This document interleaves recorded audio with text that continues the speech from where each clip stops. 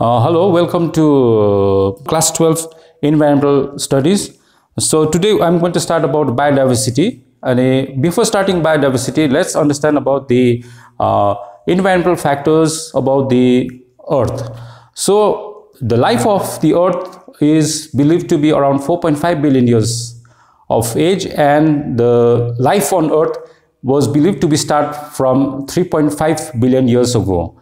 So from that onwards, the life started, and on the way, the life uh, from the simple uh, single cellular, it started into multicellular. Then it keeps on, it kept on growing, and it uh, later on it uh, diversified to many uh, forms of life. So in order to understand about this thing, we have to first know about the variability. What does biodiversity means? Biodiversity means it is a variability of life on earth. It is a variability in species genetic level and ecosystem. यो biodiversity भनेको चाहिँ के हो भने चाहिँ it is a variation भनेको diversity भन्नु बित्तिकै के हो? यो चाहिँ डाइभर्स हो डिफ्रेन्सेस एउटासित अर्कोसित नमिल्ने भेराइटी हुनु हौ। त्यसलाई चाहिँ हामीले युजली बायो डाइभर्सिटी भनेको बायो भनेको चाहिँ at least link with the life bio भन्ने बित्तिकै लाइफ हो। डाइभर्सिटी भनेको चाहिँ के हो त्यो? डिफ्रेन्सेस एउटासित अर्कोसित केही नमिल्ने। अनि यसमा बायोडाइभर्सिटी पनि भन्नु बित्तिकै के आउँछ भने यहाँनिर कुरो चाहिँ खालि एउटा पर्टिकुलर चिज एउटा कि एउटा एउटा पर्टिकुलर एनिमलदेखि अर्को पर्टिकुलर एनिमलको डिफ्रेन्सेस मात्रै नभएर यसमा जेनेटिक लेभलमा पनि त्यसको भेरिबिलिटी आएको हुन्छ। भनेको एउटा पर्टिकुलर स्पिसिस छ त्यो स्पिसिसमा पनि उनीहरूको भित्र एउटा त्यही पर्टिकुलर स्पिसिसमा पनि उनीहरूको भेरिएसन हुन्छ डिफ्रेन्सेस हुन्छ त्यो मिल्दैन।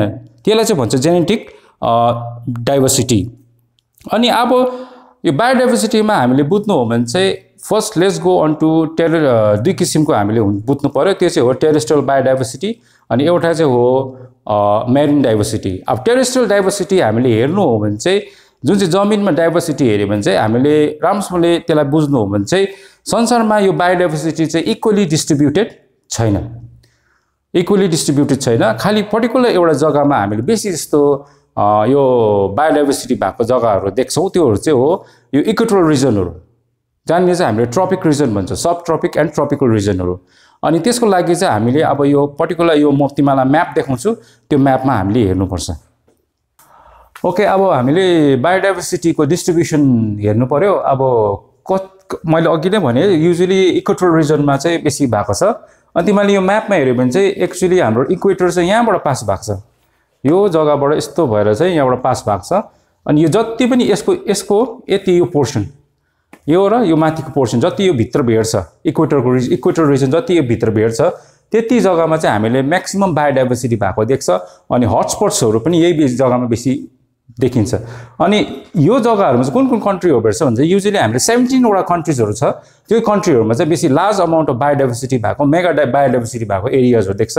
इन्क्लुडिङ यहाँनिर हेऱ्यो भने हामीले ब्राजिलको यो एटलान्टिक ब्राजिलियन फरेस्ट भन्छ यो जग्गा भयो इक्वेडर भयो त्यहाँदेखि आएर यहाँनिर हामीले अफ्रिकन जग्गामा हेऱ्यो भने यो म्याडागास्कर यो जुन चाहिँ छ यसमा एकदम यसमा ए यो वान अफ द के अरे हटस्पट जोन जस्तो भनौँ। त्यहाँदेखि इन्डियामा आयो भने इन्डियामा पनि थुप्रो तिमी हामीले देखिन्छ। त्यहाँदेखि यहाँबाट आएर हामीले यो यो बर्मा रिजन भयो त्यहाँदेखि यो यो आइल्यान्ड यो सुन्दरबन यो के अरे इन्डोमान निकोबर आइल्यान्ड भयो यो जग्गाहरू हेरेर हामीले यसरी क्रस गरेर हेर्दाखेरि चाहिँ यो पर्टिकुलर बेल्टमा चाहिँ हामीले बेसी जस्तो चाहिँ बायोडाइभर्सिटी एकदम बेसी भएको देखिन्छ। यो चाहिँ किन के कारणले रिजन चाहिँ के हो भन्दाखेरि चाहिँ यहाँ चाहिँ एउटा mean temperature mean climatic condition अनि त्यहाँनिरको रेनफल कन्डिसन ह्युमिडिटी हौ त्यो थुप्रो क्यारेक्टरिस्टिक्सले गर्दाखेरि चाहिँ यहाँनिर चाहिँ एकदम बेसी हामीले डाइभर्सिफाइड भएको एनिमल प्लान्ट्सहरू हामीले यहाँनिर देखिन्छ। अनि यही कारणले गर्दा चाहिँ यो जग्गाहरूलाई चाहिँ हामीले बायोडाइभर्सिटिफाइड भएको रिजन भनिन्छ। अनि जति योदेखि टाढो टाढो हुँदै गयो त्यति अलिक कम्ती कम्ती हामीले देखिँदै जान्छ। अब यसमा हेर्नु हो भने हाम्रो यो यो इन्डियाको हामीले पर्टिकुलर आफ्नो कन्ट्रीको चाहिँ कतिको चाहिँ बायोडाइभर्सिटिफाइड छ अनि कुन कुन एरियाहरू चाहिँ हामीले हटस्पट रिजनमा हामीले त्यसलाई छुट्टाएको छ भनेर चाहिँ हामीले त्यसलाई चाहिँ अब हामीले इन्डियन म्यापमा हेरेर चाहिँ हामीले बुझ्नु पऱ्यो अब हामीले वर्ल्ड म्यापको हेरेर त्यहाँनिर हामीले त्यसलाई कुन कुन जग्गालाई चाहिँ बायोडाइभर्सिटिफाइड भएको एरियाहरू हामीले अघि बुझ्यो हामीले के देख्यो भने चाहिँ इक्वेडर रिजनहरूमा भएको देख्यो। अब हामीले चाहिँ इन्डिया इन्डिया हाम्रो आफ्नो कन्ट्रीको चाहिँ हट स्पटहरू भन्छ अनि जहाँनिर चाहिँ एकदम बेसी बायोडाइभर्सिटी भएको रिजनहरू जुन चाहिँ छ त्योहरू हामी बुझ्नु भने चाहिँ हामीले हेऱ्यौँ भने चाहिँ वेस्टर्न घाट यो जुन चाहिँ छ यो रिजन यो वेस्टर्न घाट यो रिजन डल्लै यो हेऱ्यो भने यो जग्गामा हामीले एकदम बेसी हामीले बायोडाइभर्सिटी फाइट भएको रिजन देख्छ। अनि यो हिमालयन रिजन भन्छ यो यहाँ छ डल्लै यो एरिया। यहाँनिर हामीले देखिन्छ। अनि त्यहाँदेखि चाहिँ यो इन्डो बर्मा रिजन भन्छ यो टक्कै यसरी छोएर यहाँबाट यसरी आएको हुन्छ। यो जग्गालाई हामीले इन्डियाको वान अफ द हटस्पट्सहरू छ। वान टू त्यहाँदेखि थ्री त्यहाँदेखि यहाँनिर छ एउटा यो यो यो रिजन यो रिजनमा पनि हामीले यसलाई चाहिँ वान अफ द हटस्पट्स मानेको छ। अनि यो हटस्पट्सहरू चाहिँ किन भन्दाखेरि चाहिँ यहाँनिर चाहिँ कतिवटा यस्तो खालको एनिमल्सहरू प्लान्ट्सहरू पनि पाउँछ। जुन चाहिँ चाहिँ खालि यो जग्गामा मात्रै पाउँछ अरू जग्गामा हामी जस्तै पाउन सक्दैनौँ। जस्तै फर इक्जाम्पल हामीले यो एरियामा हेऱ्यो भने यहाँनिर हेऱ्यो भने हामीले गिर फरेस्टमा हामीले एसियाटिक लाइन पाउँछ जुन चाहिँ अरू जग्गामा हामीले पाउन पाउन सक्दैनौँ। चाहिँ यहाँनिर पर्टिकुलर जग्गामा हेऱ्यो भने यहाँ लङ्गुर पाउँछ निलगिरी लङ लङ्गुर्सहरू भन्छ हौ त्योहरू भयो। यो यो जोनमा हामीले रेड पान्डाको जोनहरू भन्छौँ। त्यहाँदेखि अलिकति तल आएपछि यहाँनिर रोयल बेङ्गल टाइगर्सको कुराहरू आयो। हौ त्यस्तो थुप्रो कतिवटा कुरोले गर्दाखेरि चाहिँ इन्डियाको इन्डियालाई पनि one of the most bio biodiversitified country भनेर चाहिँ हामीले मानिन्छ। नेक्स्ट हामी जाउँ। त्यो चाहिँ हो बायोडाइभर्सिटीलाई चाहिँ किन चाहिँ हामीले चाहिँ यति साह्रो त्यसलाई चाहिँ इम्पोर्टेन्स दिएको? Why what is the reason behind this भन्दाखेरि चाहिँ त्यसको चाहिँ आउँछ भ्याल्यु अफ बायोडाइभर्सिटी अब यो भ्याल्यु अफ डाइभर्सिटी भनेको चाहिँ के हो भन्दाखेरि चाहिँ त्यो डाइभर्सिटी पर्टिकुलर कन्ट्रीमा छ। त्यसको इम्पोर्टेन्स त्यसले हामीलाई के दिन्छ कस्तो हुन्छ हौ त्यो चाहिँ यो कुरोहरूमा चाहिँ बताएको छ। त्यो नम्बर वानमा आउँछ त्यो चाहिँ हो इकोनोमिक भ्याल्यु इकोनोमिक भ्याल्यु अब इकोनोमिक भ्याल्यु भनेको चाहिँ त्यसले थुप्रो कुरोहरू हामीलाई प्रोभाइड गरिरहेको हुन्छ। फर इक्जाम्पल हामीले जङ्गलबाट हेऱ्यो भने हामीले हामीलाई टिम्बर्सहरू दिन्छ मेडिसिनल कुरोहरू दिन्छ फ्युलहरू दिइरहेको छ। हौ त्यो कुरोहरू हेर्दाखेरि चाहिँ यो बायोडाइभर्सिटी जति बेसी हुन्छ त्यति बेसी हामीले त्यहाँबाट रिसोर्सेसहरू कलेक्ट गर्नु सक्छ अनि यहाँबाट हामीले इकोनोमिकल गेनहरू पनि पाइरहेको हुन्छ। न नेक्स्ट लेख्नु त्यो चाहिँ हो नम्बर टूमा चाहिँ एस्थिक E S T H aesthetic value aesthetic value aesthetic value भनेको चाहिँ के हो भने चाहिँ त्यो चाहिँ हो त्यो चाहिँ पर्टिकुलर त्यसको एउटा आफ्नो आफ्नो पर्टिकुलर जग्गाको चाहिँ आफ्नो आफ्नो एउटा ब्युटी हुन्छ एउटा नेचर हुन्छ। जसमा कि चाहिँ जुन कुरो चाहिँ अर्को जग्गामा हामीले पाउँदैन। अनि त्योलाई हेर्नु लागि मान्छेहरू टाढ टाढोबाट आउँछ बस्छ हेर्छ। जुन कुरो चाहिँ अहिले हामीले इक्जाम्पल फर इक्जाम्पल हामीले यहाँनिर देखिरहेको छ इको टुरिज्म भनेर हामीले पुरा सुन्छौँ होइन? होमस्टे भन्छ।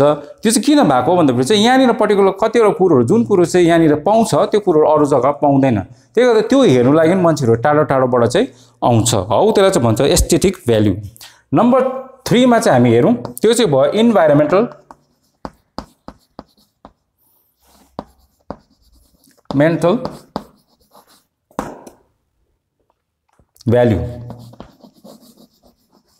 इन्भाइरोमेन्टल भनेको चाहिँ भ्याल्यु भनेको चाहिँ के हो भने पर्टिकुलर जग्गामा स्पेसिफिक प्लान्ट त्यसको आफ्नै भ्याल्यु हुन्छ। जस्तै हामीले हेऱ्यौँ भने गिर फरेस्टमा गएपछि त्यहाँनिर हामीले एसिटिक लाइन पाउँछ। त्यो एसिटिक लाइन चाहिँ हामीले यता बेङ्गलतिर अरू जग्गातिर खोज्छौँ भन्दा पनि पाउँदैन। जसरी हाम्रो बेङ्गलमा सुन्दरवनमा हेऱ्यो भने हाम्रो रोयल बेङ्गल टाइगर छ। त्यो रोयल बेङ्गल टाइगर हामीले उता गएर गुजरात युपीतिर पाउँछ भने त्यस्तो छैन। अन्त त्यो पर्टिकुलर जग्गाको इम्पोर्टेन्सले गर्दा त्यसलाई चाहिँ भन्छ इन्भाइरोमेन्टल भ्याल्यु नेक्स्ट छ ethical value number four ethical value ethical value भनेको चाहिँ के हो भने त्यसको इम्पोर्टेन्स चाहिँ त्यति बेला नै देख्दैन तर त्यसले कताबाट चाहिँ साइडबाट इन्डाइरेक्टली इम्पोर्टेन्स चाहिँ दिइरहेको हुन्छ। जस्तै एउटा पर्टिकुलर कुरोसित अर्को डिपेन्डेन्ट भइरहेको हुन्छ।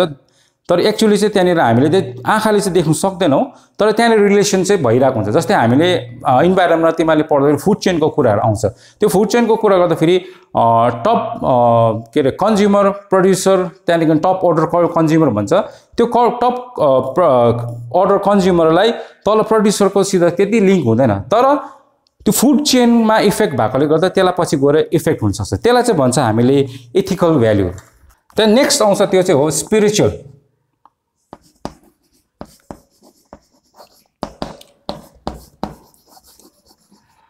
स्पिरिचुअल भ्याल्यु भनेको चाहिँ अब यो युजली यो चाहिँ के हो भने इच जग्गाको आफ्नो आफ्नो के अरे रिलिजन हुन्छ आफ्नो आफ्नो कल्चर हुन्छ। अनि त्यही अनुसार उनीहरूले पर्टिकुलर चिजहरूलाई कि चाहिँ दे वर्सिप होइन? कतिवटा कुरोलाई उनीहरूले प्रोटेक्ट गरेर राखेको हुन्छ कतिवटा उनीहरूले फ्लावर्सहरूलाई उनीहरूले उनीहरूको पर्टिकुलर गड कि डेटीहरूलाई उनीहरूले चढाउँछ होइन बुझाउँछ त्यो त्यो त्यसको आफ्नै भ्याल्यु हुन्छ। त्यही कारण चाहिँ त्यसलाई चाहिँ भन्छ हामीले स्पिरिचुअल भ्याल्यु नेक्स्ट छ इन्डाइरेक्ट भ्याल्यु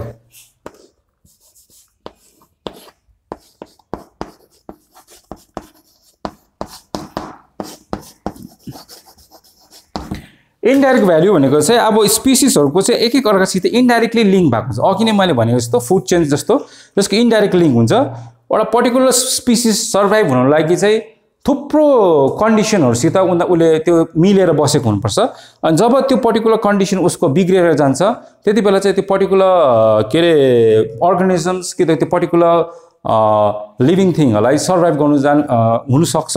कतिवटा कुरो इन्डेन्जर्ड भएर पनि जानुसक्छ कतिवटा कुरो कतिवटा कुरोहरू एक्सटिङ भएर पनि जानुसक्छ। अन्त यो इन्डाइरेक्ट भ्याल्यु चाहिँ बायोडाइभर्सिटीमा भयङ्कर इम्पोर्टेन्ट हो। यसले चाहिँ अब जुन कुरो हामीले देखेको छैन तर यसले सबै कुरोलाई मिलाएर राखेको हुन्छ र यो फुड चेन कि त फुड वेब भन्छ हामीले यो कुरो सबैलाई उसले एउटा एक प्रकारले बाँधेर राखेको हुन्छ। र त्यही कारण चाहिँ यो कतिवटा कुरोहरू यो बायोडाइभर्सिटीको भ्याल्युहरू छ योहरू चाहिँ त्यो पाँच छवटा पोइन्ट छ यो छवटा पोइन्टहरू चाहिँ त्यही कारण चाहिँ यसको इम्पोर्टेन्स चाहिँ यो हो। अब लास्टमा ल्याउनु कुरा गर्नु हो भने चाहिँ अब जति यो मैले तिमीलाई अब भ्याल्युजहरूको बारेमा के अरे यो बायोडाइभर्सिटी भ्याल्युजको बारेमा तिमीलाई मैले देखाइहालेँ अब यसको चाहिँ मेन कुरो चाहिँ बायोडाइभर्सिटी चाहिँ पहिला पनि अब हुन्थ्यो होइन? तर अब यसको चाहिँ इच फेजमा त्यसको हरेक टाइममा त्यो एक्सटिङ हुँदै त्यहाँदेखि फेरि रिजेनेरेट हुँदै त्यो प्रोसेस चल्दै आएको हो।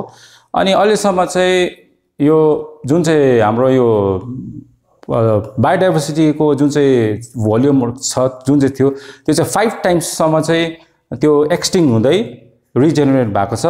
अनि अहिले जुन चाहिँ छ हाम्रो ह्युमन एक्टिभिटीले गर्दा पनि थुप्रो यो कतिवटा स्पिसिसहरू प्लान्टहरू ड्यामेज भएर जाँदैछ एक्सटिङ भएर जाँदैछ र त्यसलाई चाहिँ हामीले ह्युमन इन्टरफेरेन्सले गर्दा भएको।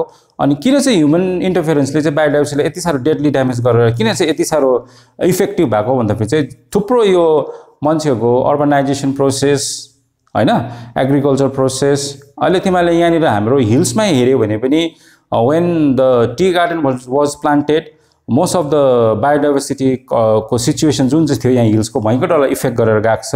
अहिले हेऱ्यो भने हामीले तल ड्याम कन्स्ट्रक्सनहरू देख्छौँ। त्यसले डल्लादो इफेक्ट गरेर गएको छ। अनि जति पनि यो मोनोकल्चर जुन जुन चाहिँ हामीले फार्मिङहरू गर्छ हौ यसले पनि थुप्रो प्रकारले बायोडाइभर्सिटीलाई इफेक्ट गर्छ। अनि फर्दर अब यो बुझ्नु लागि चाहिँ म नेक्स्ट क्लासमा कन्टिन्यू गर्छु। अनि यो क्लासलाई चाहिँ यति नै म सस्पेन्ड गर्दैछु। Thank you